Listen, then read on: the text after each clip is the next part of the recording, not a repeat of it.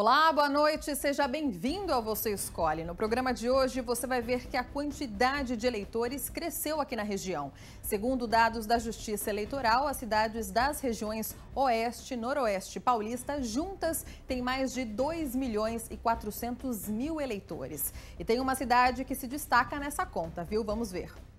Quando andar por Brejo Alegre, região noroeste paulista, e casualmente perguntar para um morador como está a expectativa para as eleições, não estranhe se a resposta for. Às vezes dá nem vontade de votar, porque é muita decepção. E eu acho que não é só eu, acho que todos os brasileiros estão tá nessa mesma intenção que eu tenho. Eu estou pensando em justificar depois pagar o voto, porque está difícil, viu? Porque não é difícil, não tem, porque a gente não tem para quem escolher, não tem escolha, né? Essa insatisfação que hora e meia toma conta das conversas em Breja Alegre é resultado da sensação de indiferença, ou seja, a descrença que os candidatos inspirem confiança. O seu Antônio tem 72 anos. Ele também anda descontente com a situação do país, mas garante que vai votar. Não sou obrigatório, mas eu voto. Eu voto porque eu faço empenho que, que a a cidade melhora, né? Na corrida para as eleições, o cenário ainda é de incertezas, reflexo da crise política. Mas no Brasil, como é democracia, o voto é um ato de cidadania. Por isso ele tem que ser valorizado para ser feito de forma consciente. No jogo democrático, o eleitor é o protagonista. E são muitos. A Justiça Eleitoral divulgou dados sobre o número de eleitores no país. Ele aumentou nas regiões Oeste e Noroeste Paulista. Em 2014, juntas somavam quase 2 milhões e meio de eleitores. Este ano, o número aumentou. Das cidades da região de Araçatuba, a tranquila Brejo Alegre, com cerca de 2 mil habitantes, foi a que registrou o maior índice de aumento. 3%. Esse aumento ele deve-se principalmente ao aumento da população em si, ao crescimento populacional que nós tivemos nos últimos quatro, cinco anos, é, e também ao interesse maior dos jovens, principalmente, em participarem do processo eleitoral. As principais cidades da região também registraram aumento. Em Araçatuba, o crescimento foi de 2%. Em Presidente Prudente, o número subiu 4% a mais. Já em São José do Rio Preto, o número saltou aproximadamente de 312 mil para mais de 328 mil eleitores regularizados. O Brasil só vai passar por uma mudança efetiva a hora que a população tiver mais consciência e ter certeza que só vão mudar as, as questões econômicas e políticas através do empenho e da manifestação da própria população, do próprio eleitor. É, e é preciso consciência mesmo. Bom, sobre esse assunto e outros, o SBT Interior convidou o analista político que participou da reportagem, Peter Abreu. Peter, boa noite para você. Seja bem-vindo ao Você Escolhe. Boa noite a você, Jéssica. Boa noite, telespectadores. Vamos começar o nosso bate-papo é, explicando né, uma dúvida que a gente tem. A gente está vendo aí que o pessoal é, quando é, o número crescente, quando a gente fala de número crescente de eleitores, isso vem acompanhado aí de muita insatisfação. Bom, a minha pergunta é o seguinte: a gente está cansado de ouvir o pessoal dizendo que são contrários ao voto obrigatório. Na sua opinião, o que, que você pensa sobre isso? Se você pegar o grande exemplo que muita gente comenta no Brasil, nós temos os Estados Unidos. Os Estados Unidos e lá o voto é facultativo. A questão que se tem sobre o voto ser obrigatório ou facultativo no Brasil se refere muito à questão de compra de votos. Tá? Dizem alguns é, legisladores de que se o voto fosse facultativo, ficaria muito mais fácil, mais fácil para coronéis, vamos dizer, da, da velha política, comprarem votos de alguns eleitores. Mas nós temos, na verdade, uma justiça muito enfática e muito empenhada nos últimos anos a coibir esse tipo de coisa. Eu, particularmente, sou favorável ao voto facultativo. Bom, explica para a gente o que mudaria, então, se o voto realmente fosse facultativo aqui no país. Eu diria para você que pelo menos 30% ou um terço dos eleitores não participariam das eleições. Bom, e no caso do voto facultativo, a gente não teria mais é, menos representatividade, no caso, por exemplo, mais candidatos aí alinhados com as elites do que os que realmente representam a classe dos trabalhadores? Eu acredito que não, pelo seguinte, pela seguinte questão. Nós temos a questão do voto da indiferença. Tá? Hoje, se você for analisar, nós temos um grande número de eleitores que vão votar apenas porque é obrigado. E esse eleitor, na verdade, quando ele chega é, no dia da eleição, ele tira da cabeça dele a grande dúvida que ele tem: por que, que eu estou aqui? O que, que eu estou fazendo aqui? Tá? E ele vota em qualquer um. Tá? Nós tivemos no passado, quando você não tinha uh, a urna eletrônica, o caso do macaco Tião, que foi muito votado. Nós temos vários casos eh, semelhantes na história eh, eleitoral do país. Então, essas pessoas vão para votar por obrigação. Algumas acabam se abstendo de votar e outras vão e votam em qualquer um, ou naquele que vem à mente, ou acabam votando em branco e nulo. Sempre nós temos aí, na última eleição, inclusive é, para presidente, em 2014, nós tivemos mais de 30% de votos brancos, nulos ou de abstenção. Uhum. Bom, e falando aí sobre esse descrédito que a gente tem visto na política né, recentemente, é algo realmente por conta aí dos escândalos políticos ou uma situação aí específica que já vem de algum tempo e pode aí, com o passar dos anos, se tornar crítico? Eu acho que nós estamos já vivendo um momento crítico. Na verdade, esse descrédito que existe é com a política da forma com que ela é feita e conduzida no Brasil os eleitores, na verdade, do Brasil estão insatisfeitos com a qualidade dos serviços públicos que são prestados. Uhum. Eu, eu, costumo dizer, se o eleitor, se a população tivesse retorno através do, dos seus impostos pagos, tivesse o retorno em serviços públicos mais eficientes, a cobrança dos políticos seria melhor, é, menor. Então, quanto pior a qualidade do serviço público prestado pelos governos, maior a cobrança a exigência e o descrédito do eleitor com a classe política como um todo. No caso, no passado, a gente via, né, Peter, que é, os políticos, eles é, muitas vezes realmente cumpriam aquilo que eles prometiam. É por que isso vem mudando, mudou tanto? Hoje as pessoas indagam né, que os políticos realmente não cumprem o que eles acabam prometendo aí em época de campanha. Aí nós temos uma questão muito complexa. Infelizmente, parece que parte do eleitorado brasileiro gosta de ser enganada. O eleitor ele gosta de votar em quem promete. É, é, eu, eu tenho esse tipo de análise na minha empresa e o que, que acontece? O eleitor ele olha para o candidato e ele fala o seguinte: que benefício eu vou ter com a tua eleição? E se o candidato não passar para ele essa segurança de que ele vai ter um benefício, ele não vota. Ele quer saber o seguinte: o que, que eu, meu bairro, minha cidade, minha comunidade, vamos ganhar com a eleição de tal candidato. E se essa resposta não vier, o voto não vai para esse candidato. Então a questão está ultimamente muito individualizada. Não só individualizada, eu diria para você que, que é, é, eu falo que essas, esses eleitores até pensam de forma coletiva, mas ele quer resolução para o seu problema. Uhum. Tá? Você pode falar que ela é individualizada, assim, na minha cidade, no meu bairro, concordo com você. E aí acaba vindo a frustração. Exatamente, porque nem tudo que se promete poderá ser cumprido. Ô Peter, e qual caminho aí? Existe um caminho para tentar reverter esse quadro de descrença? Eu acho que isso vai partir do próprio político. Eu acho que o político ele tem que começar a cumprir mais do que ele promete. Eu costumo dizer que ele tem que trabalhar, se esforçar, se empenhar um pouquinho mais e aí passa por uma série de questões, principalmente de gestão, para entender quais são, eu costumo dizer, não apenas as necessidades dos eleitores e da população. Eu acho que os governantes tinham que começar a atender os desejos desses eleitores.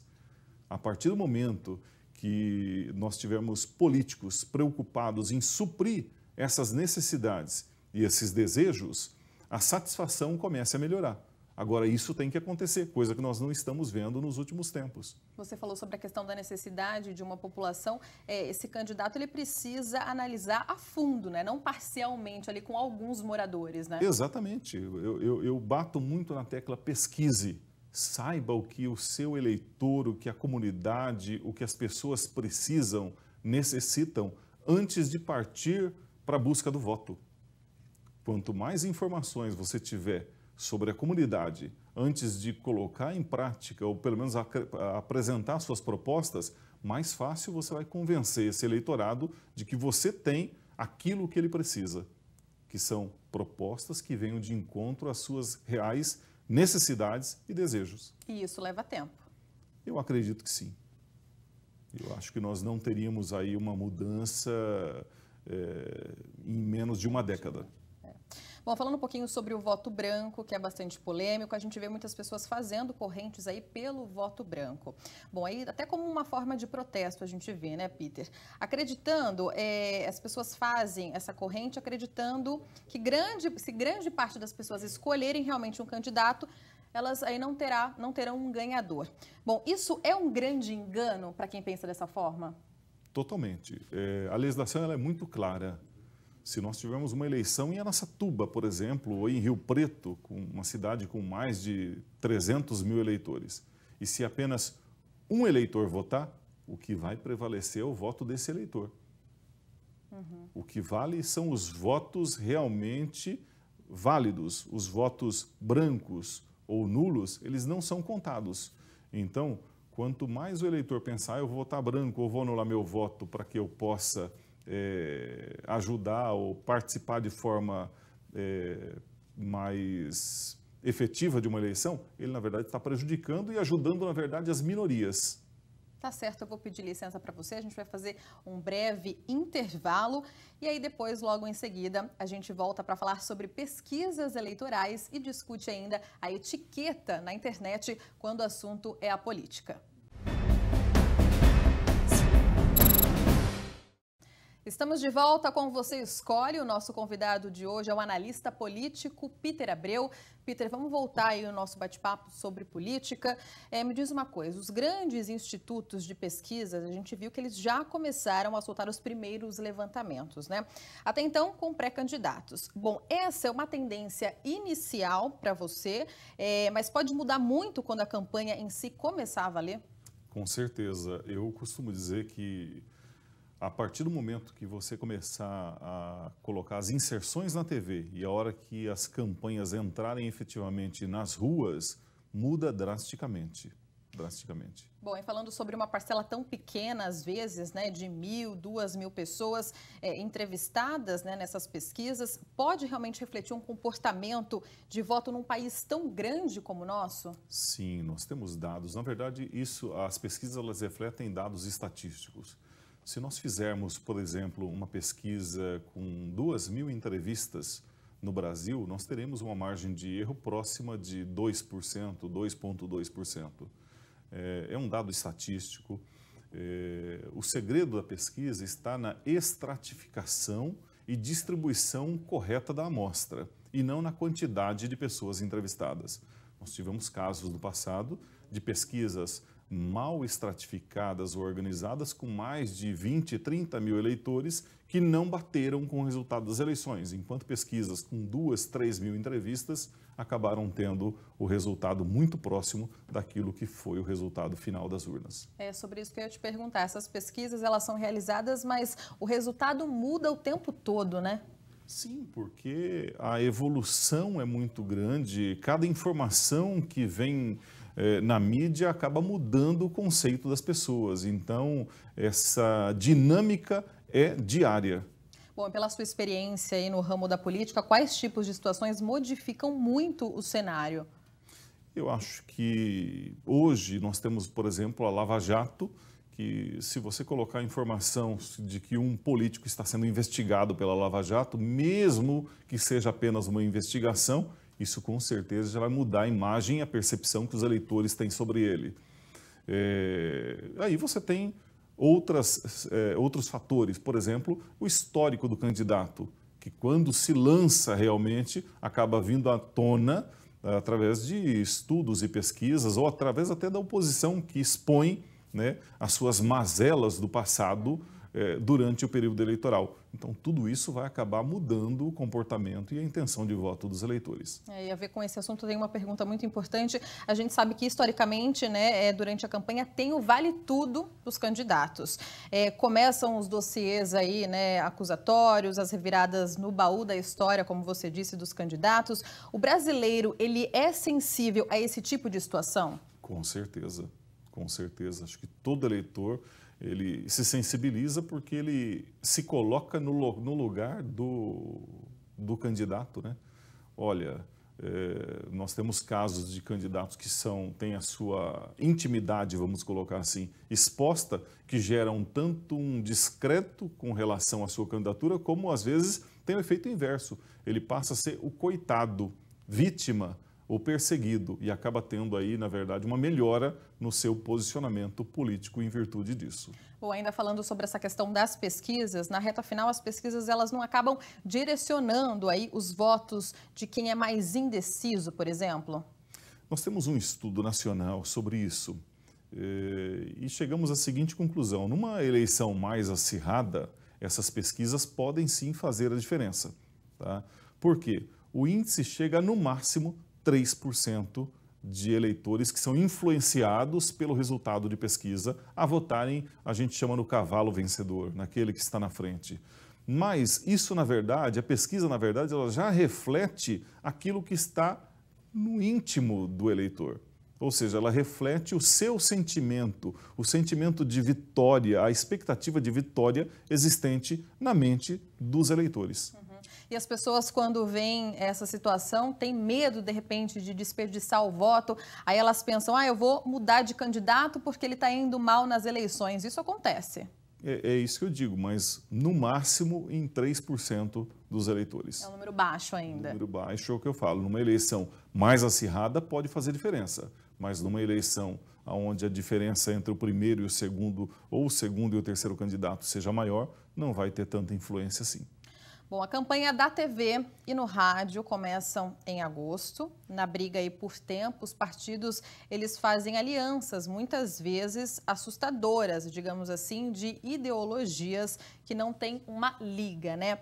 Bom, esse jogo de interesses atrapalha de que forma? Eu costumo dizer que o brasileiro, o eleitor brasileiro, é, ele é dividido em algumas camadas. Nós temos, por exemplo, o voto ideológico então, nós temos lá parte do eleitorado que é de direita, parte do eleitorado que é de esquerda e uma boa parte que não tem definição. Eh, vamos dizer, são os eleitores de centro. Eles pendem para aquele candidato que tem as ideias que sejam condizentes com as suas expectativas. É, e quando você tem essa junção, você, até como analista, fica um pouco perdido para onde vai esse eleitor. Então, são as pesquisas que vão nos conduzindo também. Tá? Quando você tem essas alianças, será que o eleitor de direita aceita uma aliança com alguém que é de centro ou até com alguém que é de centro, é, que é neoliberal e assim por diante? Uhum. Então, tudo isso vai sendo, é, deve ser monitorado e nós vamos acompanhando através das pesquisas e da condução natural do eleitorado uhum. durante o processo. Mas, assim, de certa forma, o correto mesmo é que essas campanhas nas mídias é, agreguem a opinião do, do, dos eleitores, né? Não, a busca é por isso, tá? Para que haja um consenso em torno de um nome, mas nem sempre você consegue atingir esse objetivo. Bom, vamos seguindo aqui com as nossas perguntas. O SBT Interior está fazendo uma campanha para estimular aí o voto consciente em candidatos que, que sejam da região, para evitar aí, no caso, os aventureiros que só aparecem aqui nessa época atrás de voto. Bom, esse é um dos caminhos para desenvolver mais o interior? Com certeza. Nós temos exemplos de cidades do interior que tiveram um número maior de eleitos deputados federais, federais ou estadual, é, e, consequentemente, conseguiram crescer mais do que outras cidades. Araçatuba é uma cidade que sofre com isso. Na verdade, não só Araçatuba, toda a região de Araçatuba, porque nós temos pouca representatividade. E, enquanto você pega a região de Rio Preto, já tem uma representatividade maior, Prudente, uma representatividade quase que equivalente, mas Araçatuba é uma das cidades que mais sofrem com essa falta de representatividade. E agora, Peter, a gente tem uma pergunta aí da atualidade. Bom, vamos falar sobre a tal da etiqueta na internet que vem aí se popularizando, né? A gente fala internet, no WhatsApp, em várias redes sociais. Bom, na era do vale tudo, porque a gente está vivendo bem essa era, né, da política, tem gente aí que a gente vê que é, desfazendo amizades nas redes sociais ou então brigando mesmo com a família ali é, publicamente para todo mundo ver, né, por conta de política. Onde, Peter, está o erro aí das pessoas na hora de discutir política? Eu acho que nós temos uma grande vantagem no Brasil, que é a questão da ideologia tá? poder ser discutida abertamente. E é aí que o pessoal está confundindo as coisas, os eleitores acabam confundindo. Você pega as pessoas que são de direita, acabam sendo radical de direita, outras radical de esquerda, mas a democracia, a democracia, ela propicia isso que pessoas de grupos muito próximos tenham suas tendências políticas e eleitorais. O legal é você poder curtir, compartilhar, comentar, discutir, mas não vale brigar. Tá certo, então, Peter, muitíssimo obrigada pela participação, pelas informações. Bom, e a gente fica por aqui no nosso portal de notícias. Existe um canal especial sobre eleições, então acesse sbtinterior.com. Fique agora com o SBT Brasil. Obrigada pela companhia, uma boa noite para você e um ótimo domingo.